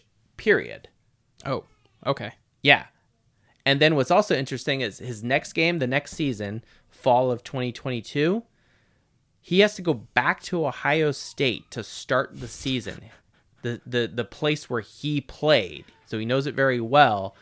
Oh, and you have to play over there. Mm-hmm. And then he comes back and it's like, okay, finally, Marcus Stream is gonna. He's finally at home. He's finally co- coaching in the, the the safe cocoon that is Notre Dame that we talked about earlier. These welcoming fans and this nice place. You know, makes you know uh, Irish JTL here very happy. Okay, and we lose. You know who we lost to? Marshall. God damn it. hey, hey, hey! Warning. Uh, yeah, I got really drunk after that. Okay, but uh, because of that, I watched Top Gun 2, which was fun. But the um, but the Marshall game was not, and I was the DD for because I went with a bunch of Knights of Columbus people. I had a friend from Texas who came up. I hadn't seen him in five years, had never been to Notre Dame before, and he had to watch that shit show. so that, that's a that's I a whole, took my kid. I took my kids and my wife. I sold my season tickets and bought four just to watch that shit show because I was sure my God, what was he at the time? Five year old would see them win. yeah. Oh, That's rough. There were there was some like weird angst going on in that game. Now we eventually pulled it together. and We had a winning season. We won a you know you know, but there there was some growth there, you know, and it's so and and, and so it's like it's like like the rocky start, you know, the rocky road to Dublin here. I don't, I'm, I'm sure Oh, you've heard that song, right? Okay, Love that song. We could play it, you know, if we want, but the um things are not rosy and hunky dory at Notre Dame. And I think, I think, and this is, I think what I kind of want to end on here, because Notre Dame prides itself on being excellent. They are not, they are not phased by things being difficult. They are not phased by quote unquote making it harder for themselves. It would be really easy for Notre Dame to sell out on, um, you know, the academics thing and just say, hey, look, we're going to pay players, you know, with this NIL stuff. You know, we're going to recruit and put Ferraris in front of the the recruiting office here, which is what other people do. Literally, other schools will bring Ferraris and Lamborghinis and park them in front of their practice fields. I don't know why, but they do that to, you know, I guess brainwash the the five four five star talent that they want to come and play there. Now I want four and five star talent to come to Notre Dame too, but Notre Dame says, okay, that's fine if you're a good athlete, but you can't be an a hole. You can't have a criminal record, quite frankly. Um, and they burn players if they do shit like this. And you have to be fairly smart. In 2012, Notre Dame goes to the title with a guy named Everett Golson. He was our quarterback, right? he ends up having like some sort of academic infraction, cheats on a test or something, gets expelled. Notre Dame and, and he has to sit out for an entire year. Oh wow. This is the quarterback who took your team to a national championship. And we said, no, this is a place of higher learning that stands for excellence. You're fucking gone. So he had to work his way back And then he eventually, the prodigal son returns right in 2014, which then makes that season even more painful because we're undefeated with him. We go to this Florida State game and we lose by a close bullshit margin. And then you just see this precipitous fall in mm-hmm. 2014, which was really painful. But then we end up winning the bowl game with uh, Malik Zaire and Mike Denbrock, who's now our offensive coordinator, who's back for his third lap at Notre Dame, which is which is a whole other story we talked about a couple weeks ago. But why do I bring this up? Notre Dame benched and suspended their starting quarterback. How many other schools would do that? Maybe Stanford would. You know, Northwestern. That's kind of a smart school place. They got they've got some hazing problems over at Northwestern right now, but or they did. Um, you know, so, so it's like like crazy shit like that. Um, in what was it, 2016? Someone help me out here. There was uh there was a group of players that got uh pulled over for speeding, busted taillight, weed in the car, and an unregistered Sean firearm. Crawford, Sean Crawford, Yeah, I think Dexter Williams was in that group. Yeah, Dexter like- Williams. Yep. yeah, Yep. the, the the Fulton County Five, I think is what they were called. But like like they ended up getting busted. They had to sit for a couple games, you know, for you know, I mean, it's it's I don't want to say a, a unregistered handgun is is a is a minor issue, you know. Like I got that's a whole other podcast about that. But my point is like like like Notre Dame does not let these guys skate. They don't mm-hmm. sweep things under the rug. They demand, you know, not only act, but but uh, they don't just also just like let you float. They don't just say, "All right, it's up to you to get this." No, they aff- they give these guys all the resources and support they need to be successful. One thing that Notre Dame does, and this is kind of a cliche thing, and, and this makes some people upset, but in general, I think if you really ask people what's in their heart, they'll say this is good. Notre Dame is a 40 year decision, not a four year decision. When you go to Notre Dame, it's setting you up for life. You're going to be connected with people you never would have been before. And not that it's like some secret society, mm-hmm. you know, Illuminati bullshit. No, like like we'll take you from wherever you are, welcome you, and you'll we'll we'll beat the hell out of you on the football field and in the classroom. But you get through that the doors open up for you and your life to a be better for yourself but just be better for society period. And i don't think anyone who listens to this show or who who who really gets notre dame will say that that's a bad thing. It's not. Certainly the parents don't think so. You know now maybe they're they're short-sighted and they just want to see lamborghinis and ferraris. I don't know. But i think but notre dame chooses to have that position and that stance even in today, mm-hmm. which I think is great. You know, that doesn't make it easy. That actually may hinder recruiting. You don't get the best defensive lineman, the the face ripper, people stabbing puppies because they're psychos, even though they're good athletic talents. No, you actually have to go to class. You have to take calculus one and there, there's I don't, I don't remember what the minimum requirements are, but but you have to have some level of intelligence. But Notre Dame will also support you if they really believe that you have the chops to make it there. And there are guys who have struggled on the way but made their way through it. Jerome Bettis is an excellent example. I know he's a Steelers guy, so so you're just kind of like cringe a little bit. Okay, Mi- uh, uh, I, I can't think of, of, of someone else who maybe had a had a had a tougher go at it, but but came out of the end that went to the Bengals. The only Bengals guy that's a Notre Dame guy I know is Tyler Eifert, right? Which you're just like, well, he was injured all the time, so you know, yeah. Good player, good player. I, I- we really wanted him to succeed uh, when he was playing. He showed great flashes. Very smart guy, which I'm now starting to see is just the Notre Dame effect. But yeah, very smart guy, very good player. Just The Notre Dame effect. got the got the injury bug one too many times. Yeah, which is unfortunate, and that happens, right? Yep. Um, but I mean, that's that's that's life as a pro football player, right, in the NFL. So, yeah, I think I think Notre Dame is special in the sense that they do this to themselves knowingly and willingly, knowing it's going to be harder, while simultaneously saying at in the like a timeout, a TV timeout, they'll display on the jumbotron and say, "Hey," and they'll have this like promo whatever thing, and they'll say, "By the way, after the game, join us for mass. Mass is after every single home game, like 30, 40 minutes afterwards, and it's packed. because you have all these Catholic people there. They're they're like, oh, I'm going to fulfill my Sunday obligation uh, at a vigil mass on a Saturday, right? And you know, I've done it multiple times, right? I prefer going in the morning just because it's I'm not wearing all my Notre Dame, Right. You know, stuff. You know, I don't look like a leprechaun when I'm going into, you know, God's house, right? But So it sounds like Notre Dame might be one of the very few places where you know they say one thing and that's actually what they mean. yes, So I mean, every other place it's oh, you know, we love you, we care about you, we support you, but in reality it's Yeah, what you do you contribute to our bottom bricks, Yeah, what do you know, like- contribute to our bottom dollar? And if you if it's nothing, then hit the road, Jack. Where it's Yeah. here at Notre Dame, it sounds like it's you know we we would love to have a successful football team, and we're doing our best to build that one up, and we hope you can help us. But we also care about what you do in four years later. Oh, yeah. not everyone's going to the NFL. no, So what what the hell else are you going to do? We're here to help you. That's that's amazing. Yeah, no, it, it really is, and I, I think that's something. Like I was talking to uh, someone at, at at work. This is years ago, but he he's an Ohio State guy, and he ended up um, like going to going there and playing. I forget who the big uh, Eddie Hayes or who, who's the big time Ohio State coach from back then. I don't know. I'm not an Ohio State guy, but but whoever that guy is.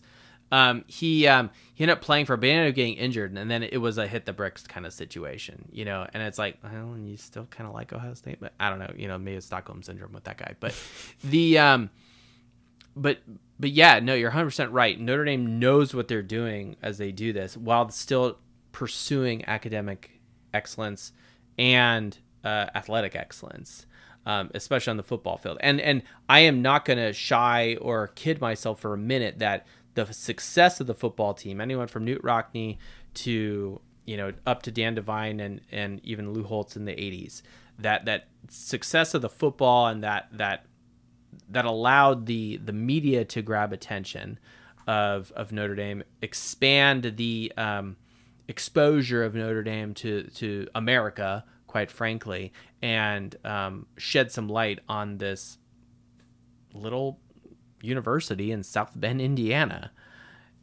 which, quite frankly, has the biggest fan base in America. Quite frankly, which is weird, you know, and their rival is a team in California. You know, like, okay. so, so do you want to be a Notre Dame fan now, or, or you're I mean- you're probably peaked and interested? Now, I'm you know, definitely like- I'm definitely interested. This feels like I mean, you mentioned third year for the head coach. Things feel like they're kind of lined up.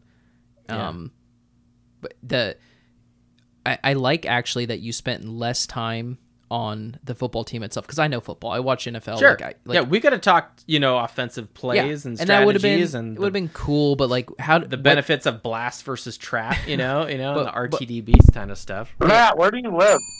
So I live in a little tiny town in like South Central Indiana.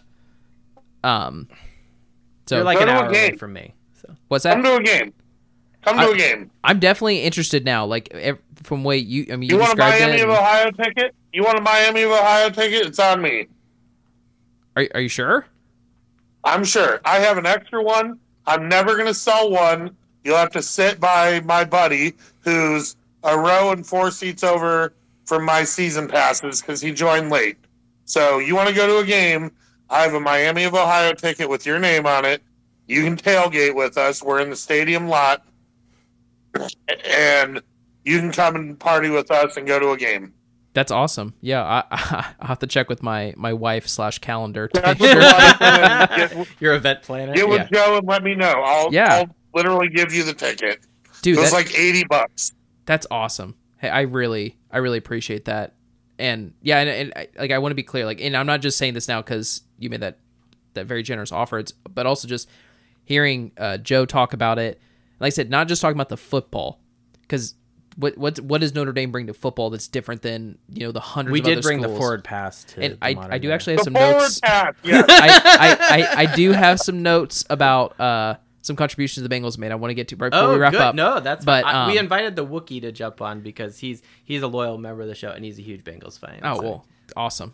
But continue, continue. uh, I want to hear. But I just want to say that the fact that you actually focus on the school and what the school itself represents and offers, and the fact that you know Jason, who you know you mentioned, he's not a Catholic, he's not from South Bend, Indiana, like, but he still feels attachment to Notre Dame, not just like the X's and O's, like A the actual firm attachment. Yeah, and like you mentioned, like the Basilica is your second favorite place there. Like that's that's pretty cool. That tells me that there's something very special about Notre Dame, and I I, I won't lie, I'm pretty fired up right now to. You got a you got a ticket with your name on it. It's the second home game of the year. I believe it's nine twenty one, September twenty first.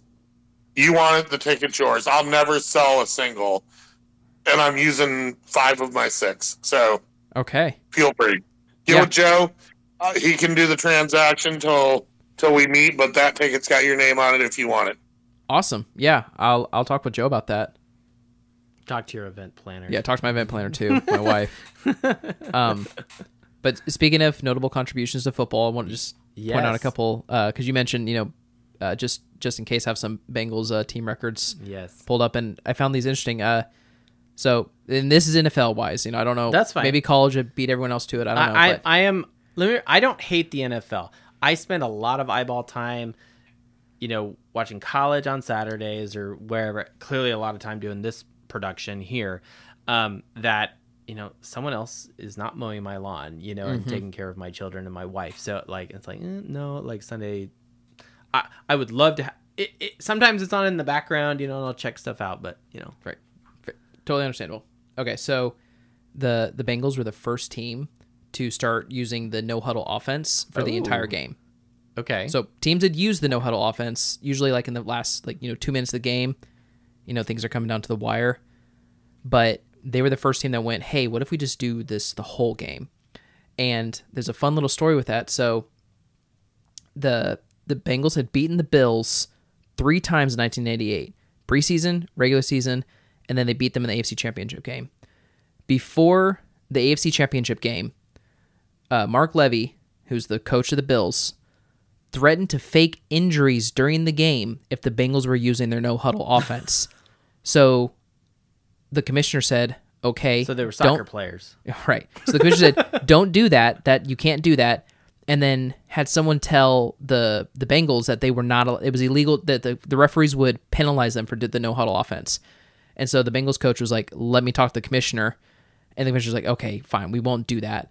Now, no one faked any injuries. The Bengals beat them and went on to unfortunately lose in Super Bowl. But the next year, uh, the Bills were using the no huddle offense. Oh, look at that. So, oh, and by the way, Fun, fact: Marv Levy went to uh, Coe College, Coach Coe College in Cedar Rapids, Iowa, where I live. oh, cool. Quick insert. Okay. Um, and I, I forgot to mention this tidbit. The the Bengals were notified that it would be illegal to run the no huddle offense two hours before the AFC Championship. Oh. So there was no time to adjust game plan. So Yeah. the fact they were able to get that fixed was helped. Uh, this is a big one. Um, this one like kills me to this day, even though I wasn't even live. We created the West Coast offense. Oh, okay. So uh, Bill Walsh obviously is the Mm-hmm. one who created it, but he was an assistant head coach from 1968 to 1975 in Cincinnati Interesting. and I did he not know that. he had been developing it and was crushing it because we had uh and then he took it to Stanford before he went to. well so uh he was supposed to be head coach when Paul Brown stepped down. Okay. Paul Brown had someone else picked out and went with him. It crushed Bill Walsh and he left to San Francisco and you know the 80s happened Yeah. with San Francisco.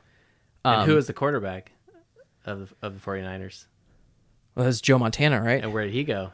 Did he go to Notre Dame? Yes. Oh man, I'm very This- conflicted now. So so so so real quick. I know I know you're on a social media restriction right now. yes. When you're done, let me know. There are two games I want you to watch. This is like homework, but it'll be delayed, and you might go to a Notre Dame game before this even happens. There's two games I want you to watch. Number one is the 1977 Green Jersey game, which has Joe Montana in it. Okay. The second one is a game actually Notre Dame loses, but arguably the best game I've ever seen, and it's the legendary Bush Push game. Okay. So I'll just I'll just leave it at. If, All right, if you'll- people you'll- have other suggestions of quote unquote great Notre Dame games that, you know, FSU Notre Dame '93. Yeah, that's a good one. The game of the century in Yeah. 1993. You're gonna have to text me these, Joe. I, I would I would actually suggest over that one the uh, Catholics versus convicts game. There, there's a whole shirt that was made. There's actually an E I'd take that. I would take that too. Yeah, the Catholics versus convicts of '88. Miami, you know, like this is another reason why I hate Miami, but that's a whole other Okay. story. Okay. Cool. But yeah, so West Coast offense could have been the Queen City offense. It came that close. Now, what? How do you stop the West Coast offense? The zone blitz. Who created the zone blitz? Cincinnati I'm Bengals. gonna go on a limb and say the Yep, Bengals. yep. uh, our our defensive coordinator, you know, obviously, you know, was on the same team as Bill Walsh, and so he was developing a defense against it as time went on. So, yeah, we. Uh, so I would say those are some pretty substantial That is contributions to substantial. Yeah. to the Is, game. is, is Cincinnati the Queen City? Yeah, yeah. I- Oh, did you guys fight Charlotte for that? Like, how does that work? It beats me. no, yeah, it's I just want to know, like, who, like, because Charlotte claims that too. I just want to know, like, do you guys like rumble in West Virginia? Like, how do we get that settled? I mean, if there's going to be a battle in West Virginia over this, I will gladly participate if that's what's necessary to keep the title of Queen City. This sounds like a Civil Love. War reenactment that's about to happen or something. right? yep. Just go burn Charlotte to the ground. That's There we go. that's Yep. Dixie, I'm Whistling Dixie. but See, yeah, oh, so you're on Charlotte's side, huh? no, I don't know. No, I just I just picked one. like, what did the Union, you know, pipe player, you know, Oh, I, have I no don't idea. know. You know, someone with a I've listened to a couple of them. Mad- It's Mad actually a lot Flute. of fun to listen to old, uh, like Civil War era folk songs. They're they're they're pretty fun. yeah. Um, but yeah, those are those are some of the bigger contributions. Now, I'm a fan of the Dukes of Hazzard, but that was more of the the cars jumping over rivers Right. and stuff. But right, right. Excellent. All right. Well, we brought Wookie on. Uh, invite you to speak because you're a Bengals guy and you're on mute and you're probably starting your work shift here. Hey, what's going on, guys? Actually, no, I'm off today. I only work Oh, uh, okay. Saturday, Sunday overnights. Yeah, but I do go in tomorrow early. Oh, okay. Well, we won't keep you if if you got to have an early early uh, early bedtime for you here. Any questions for Matt or anything? We're we are trying to convert him over to uh, be a Notre Dame fan and and explain the the excellence that is Notre Dame and and share our joy with him. So maybe it is his joy if he decides. Yeah, um, I am from Cincinnati, Ohio. Love Bengals. Was grown up on it uh, from my dad. Same thing with uh, Notre Dame. My dad loved Notre Dame, but he went to the University of Cincinnati. Well, when I got older, I was like, um, sorry, you see, I'm totally 100% diehard Notre Dame. And uh, met up with a best friend of mine at the time who had season tickets. His grandparents did. So I went up to like six different games up there, and the campus is just gorgeous. Like, you'll be sucked in right away for sure if you go up there. I'm li- I'm really looking forward. To, I hope I can go to this this game on the the 21st. I'm It'd be, it'd be good. I'm I'm going to the Purdue game, Yep. which is at Ross-Ade. Um, the first game right now I'm planning to go to is the Stanford game, but yeah, no, it's it's um, it is special. It's unique, and and I think if if you've never been there, you don't really know what you're looking for. I, I don't even know what that that experience would be like. The first time I went to campus was in 2001 in the summer for a football camp, believe it or not, because I played high school football. And so I went there and whatnot. And I, I just remember just like walking around like in the evening after practice or something and just like, like I want to see campus and just kind of whatever. And so, so that was really my first exposure of, of whatnot, you know? So, and I remember like Yeah. knowing of the grotto and then just kind of like going to look for it. And I, I found it, which was cool. So Yeah, my favorite spot is definitely the grotto.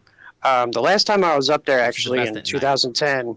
Yeah, yeah. Um, in 2010, I went up there, and my wife was fighting uh, lung cancer or uh, liver cancer. And so I go up to the game, and I go to the grotto. I light a candle instead of prayer, and we won the game.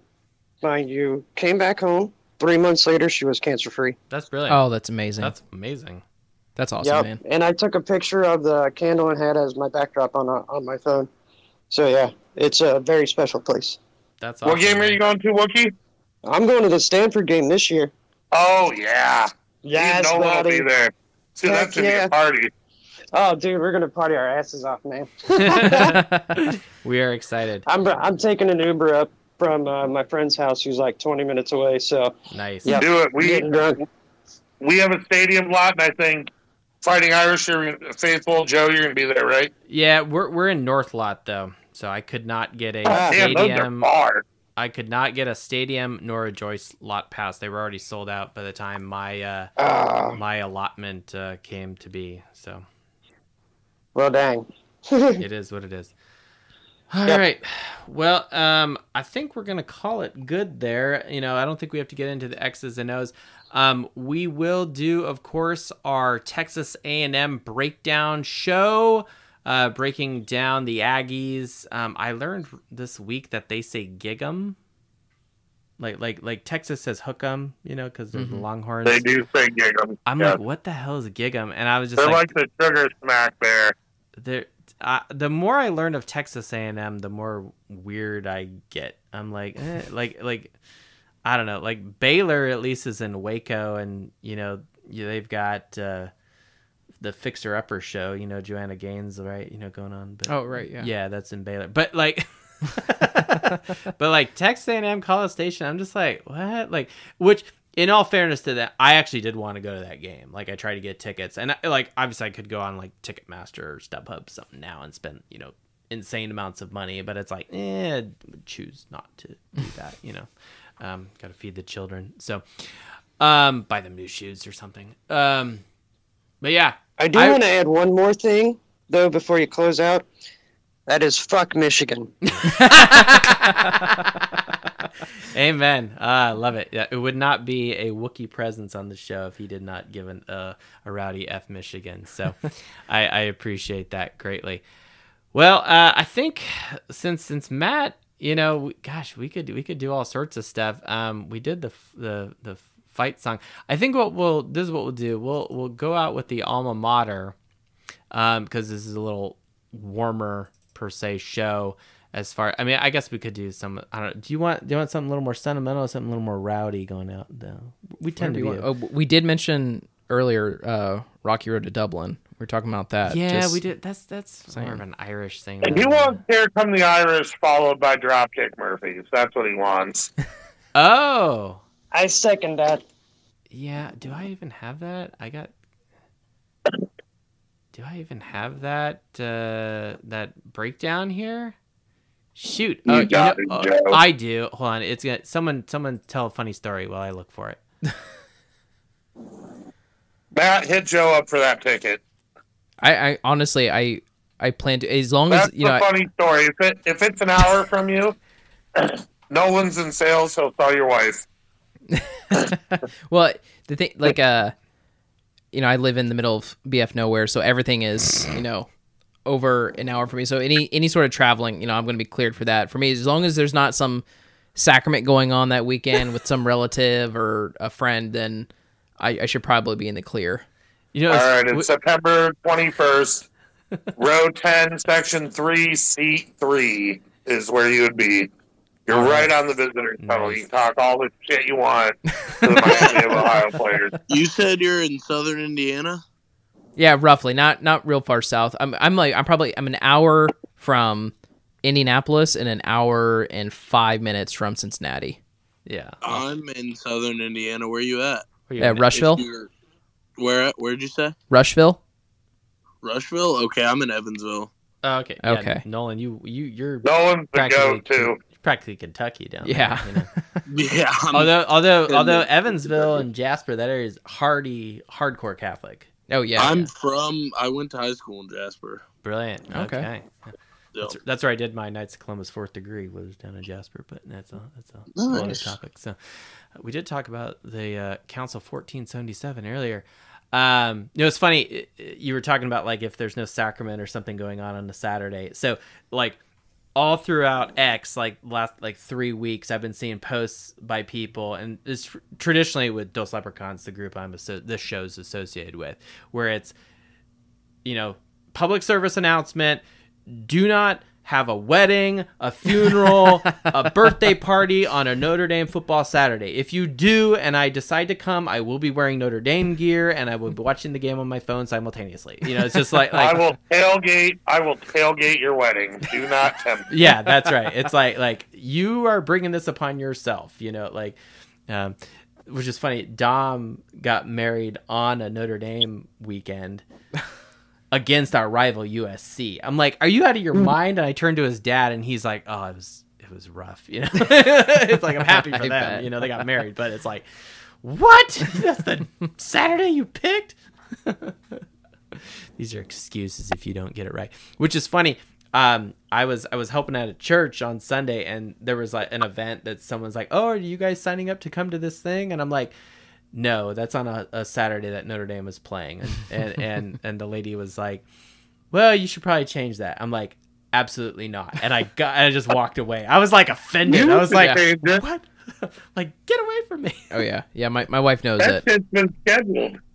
Yeah, it's okay. She she's not a Yeah. Notre Dame person. So, you know, my wife knows on on Sundays that the Bengals are playing that that's a four hour window blocked off because that's That's a half hour pre to like get ready and the half hour after to either celebrate or cry. Oh, That's the way my wife. That's the way my wife is on Sundays. She's a huge Bengals fan, okay. and I'm a huge Bengal Notre Dame slash fan. So Saturdays are like big in my house, and I work at seven now.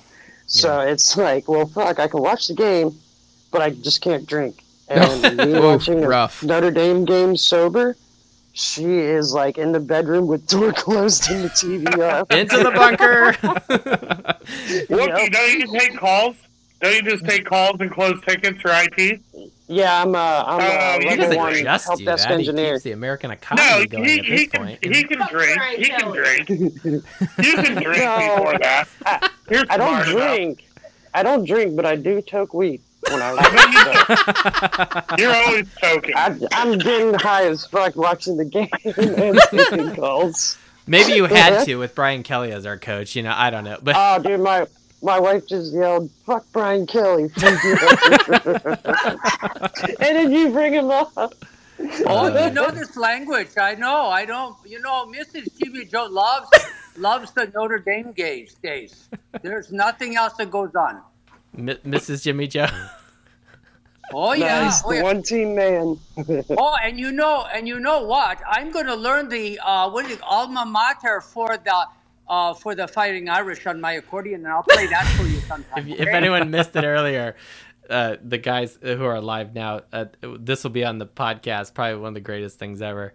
Uh, Jimmy Joe was playing the fight song on the accordion. I, Jimmy I, I Joe, will you learn it killed it. better. It. was not as You perfect as it. it could be. Could you imagine if Jimmy Joe showed up at a tailgate with the accordion playing the fight song? That would be amazing. if We could get it for The Stan. biggest rock would star like Jimmy ever. Joe to lead the players walk. To be honest, Oh my gosh! Yeah, Oh, that bagpipes and accordions. Bring it on. Oh, oh, you know, you know, and I think we have a fan, a new fan, a new member of the family here. Not only French but also Irish. Oh, welcome! You're gonna love Notre Dame. You have won a ticket before the game. You are going to have a good time. hey Uh, Joe, What's you up? haven't told us if Matt's on Twitter. He Can we follow he Matt? is. Yeah, what- yeah, Well, Let give me- us his app so we can follow him. is your Yeah, let me- He he let probably double won't. check it. He'll, he probably won't jump on. Yeah, I, I know. It's like at the something Yeah. Podcast. After or- something. I, I no, so I I I think I just it's the 189 project. Let me see if this comes up. I don't. I've never actually really used this on at the one eight nine. Oh, I hit a space. That's not gonna work. Oh, there it is. Yeah, at the one eight nine one got eight ya. project. Matthew with a skull and a flag. Yep, that's me. Yeah. Yep. All right, Looks like I'm follow gonna, it, to, buddy. I'm gonna start doing some Notre Dame posting, huh? Hey, uh, uh, I, Matt, Matt and I have followed each other for a while. When I when I found out he was on X in our in our small community of friends, and it was just like, oh, okay, you know. So, Yeah. and then we got to talking about football and stuff. So, but then but then again, you you, you seemed interested and open minded, and I was like, wait, he doesn't know anything about Notre Dame. This is Get, we'll get him. This is I've been doing it. I've been, so- I've been indoctrinating my nephew for the last three years, and now he's walking around repping Irish gear. So There you go. start We can start, make it start him young. That's what I say. I mean, you know, I we have football on TV, and Christopher just immediately says "Go Irish." He has no idea who's playing. He just says "Go Irish." Oh yeah, And that's like, that's so- my daughter with the Bengals. And When it's football season, she'll come in there and she'll be like, "Who are we playing? Who's Nice. who's the other team? Yeah. Are we winning? Why aren't we winning?" She hates the Steelers. You know. Oh yeah, she hates the Steelers. sometimes, sometimes during the season, if like during like a bye week, uh, she'll ask me to watch clips. She want me to put clips up so we can watch something. Oh, fun, fun. I'm like, no, honey, it's a free weekend. We can go do whatever we want. She's like, I want to watch football clips. I want clips. to watch football with you, Daddy. It's fine. yeah, that's what I'm talking about. Yeah. All right, I think I think you. We, so we did find the track. I do have it here. We're gonna we're gonna All end right, with good. Kathy Richardson and the Dropkick Murphys. Thank you everyone for joining us. This is Fighting Irish Faithful show. Uh, thank you so much, and and Matt. Hopefully, uh, we've we've planted the seed and given it a shit ton of water and nitrogen to germinate into something great. We've done something. Go, That's- Matt, go! Go, Matt, go!